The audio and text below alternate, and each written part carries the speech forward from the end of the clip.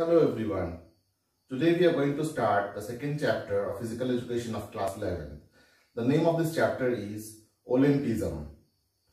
In Olympism chapter, we will study about the values and objectives of Olympic Games.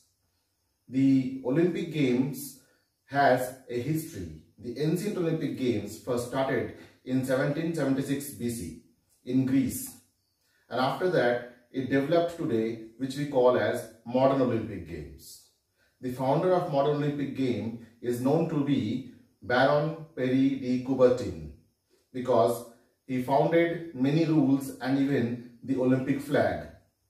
The Olympic flag itself has a big symbolism. It is made up of five rings. Each of these rings represent the five continents. The five rings are interlocked because it shows collaboration and uh, team coordination.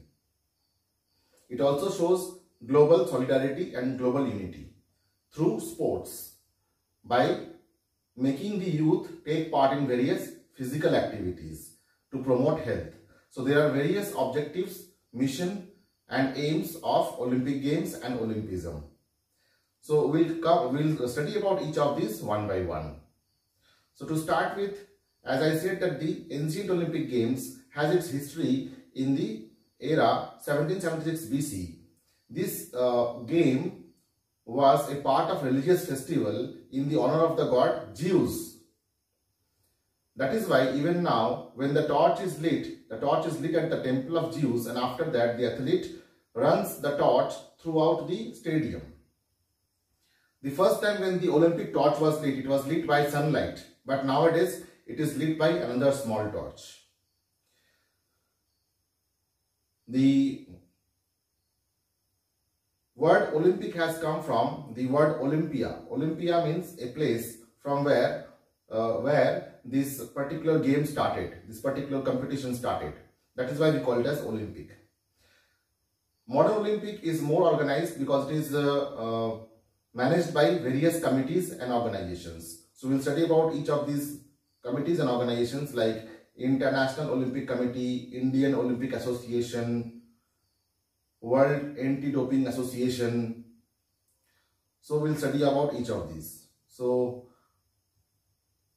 what are the modern objectives or the objectives of modern Olympics?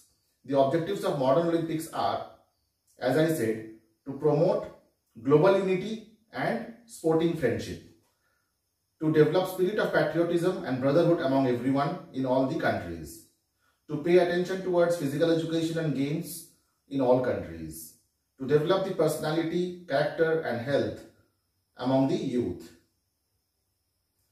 The founder, as I said, was a Frenchman and his name was Baron Pierre de Coubertin. The Olympic symbol mentions its motto. The Olympic symbol says Citius, Altius and Fortius. That means faster, higher and stronger. So all the games in modern Olympics you will find involves fast running or any fast activity, throwing something heavy or sharp or jumping higher like high jump, long jump, shot put throwing, discus throwing, javelin throwing, running, relay race, all that.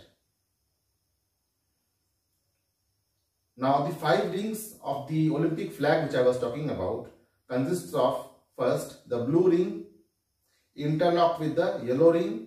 The blue ring represents Europe and the yellow ring represents Asia. After that the black ring and the green ring and the yellow ring are interlocked. The black ring represents Africa and the green ring is further interlocked with the red ring. Green ring represents Australia and red ring, uh, red ring represents South America and North America. There is an Olympic oath. This Olympic oath is taken by one of the sportsmen in the opening ceremony and the oath is all about fair play and the rules of the games which is followed by all the players throughout the Olympic Games program. The torch relay as I said during the ancient times or, or used to be uh, lit at the uh, temple of god Zeus. Even now it is done there itself. But for the first time the torch was lit with the sun rays. But nowadays it is lit by a smaller torch.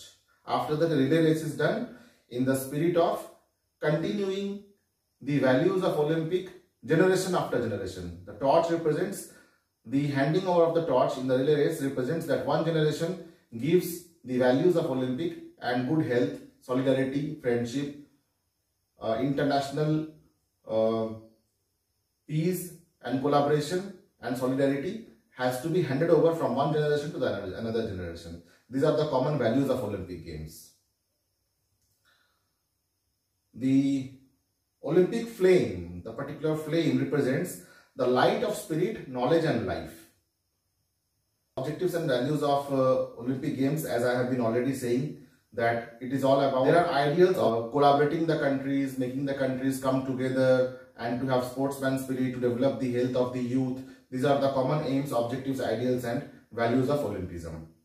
Now, uh, even for those men or women or person, those who are mentally or physically disabled, for them also Special Olympics are organized, Paralympics are organized. Now, Special Olympic is meant for those who are intellectually disabled, like mentally retarded people. For them also, certain rules and certain games are made under the provision of Special Olympics. And Paralympic or Paralympic is meant for those who are not physically able or they are physically able in a special manner. For them, Paralympic is organized. So that a message goes that everyone is worth and everyone has some special uh, quality and nothing can make a person stop. Even physical disability or mental disability can also not stop anyone to do better. So Paralympic, uh, Paralympic, Paralympic is the same word basically. Paralympic is like joined together and it is said. Otherwise if you break it, it is uh, spelled as or it is spoken out as Paralympic. Paralympic and Special Olympic is mainly for making people feel that those who have physical disabilities or mental disabilities also have dignity and ability to perform as equally as those who are physically able. Hence we say that those people, those who are physically disabled are specially able and hence from that special word we say Special Olympics. Now certain committees which are uh, there to help the organization of uh, Olympic Games are International Olympic Committee at the top. It was created by Coubertin. Uh, the full name of Coubertin, as I said, was the founder of the Olympic Games, uh, Baron de Paris Coubertin, and uh, it was done in the 23rd June 1894. International Olympic Committee is the governing body of modern Olympic Games, is the governing body of the modern Olympic Games. It supports and promotes the sports all over the world, building the sportsmanship spirit, peacefulness and uh, non-discrimination. The main function of International Olympic Committee is, as I have been already saying, to promote games and sports, obvious, to promote ethics and fair play, that the rules should be obeyed, to fight against doping, to make everyone follow the rules and uh, the functioning of smooth functioning of the game, to fight against political abuse of sports and athletics or athletes fight against any form of discrimination affecting Olympic movement, encourage and promote women in sports too. After that, International Paralympic Committee is there, which is uh, founded in Germany on 22nd of September 1989 for those who are physically disabled. It supervises Paralympic uh, summer and winter games. So the Olympic game also has two seasons, uh, summer and winter. That means each of these uh, reappear or reoccur after every two years. That means the gap between one particular season's Olympic game is four years. A particular Olympic game movement will reoccur after four years because there are two seasons in it. One is winter season, that means Winter Olympics and Summer Olympics. So Winter Olympic what happened this year will be again re-happening in the fourth year. So there is a gap of three years in between and first year and the fourth year the winter is played. Similarly for the summer Olympic first year and the fourth year the summer Olympics are played.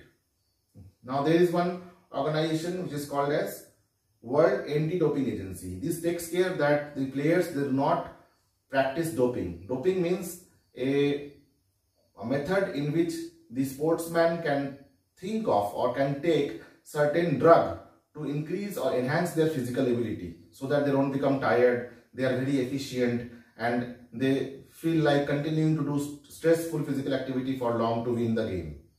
So it is banned, doping is not allowed. So World Anti-Doping Agency takes care of this. World Olympian Association. It is an independent global organization. It brings together all the Olympic Games uh, related sportsmen and helps them to take part. It was established in Paris in 1994 and the president of the same was Samaranch. World Olympic Foundation was founded in which uh, 100,000 Olympics uh, Olympians around the world in the activities of Olympic movement were brought together. Now, most interestingly, we also have Indian Olympic Association under the flagship of International Olympic Committee.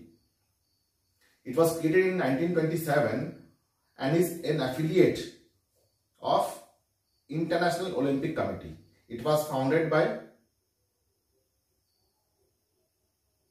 Sir Dorabji Tata and Dr. A.G. Noehren. Noehren. N-O-E-H-R-E-N. Noehren. So it was created by or founded by Dr. Uh, Sir, Sir Dorabji Tata, Sir Dorabji Tata and Dr. A.G. Noehren. The selection of national team is done by such sports federation and recommended to International Olympic Agency or Association. So Indian Olympic Association, they do the selection part and after that they send the selected sportsman to the International Olympic Committee. The objectives of Indian Olympic Association is same as that of International Olympic Committee.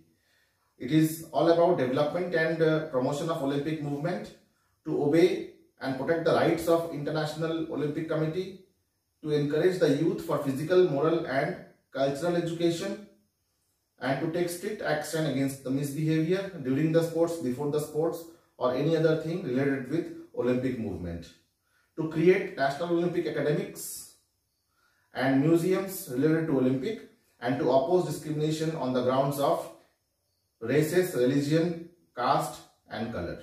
That was all about Olympism and this chapter aims at building good values among children and in the school it is also suggested that we can also have mock Olympic games in which we can develop some international learning and uh, the methods of organizing Olympic games can be learned by role play method in the school. So during the uh, sports day in the school, it is suggested that the schools may also do mock Olympics so that students learn about what Olympic is, is and what are the values of Olympics.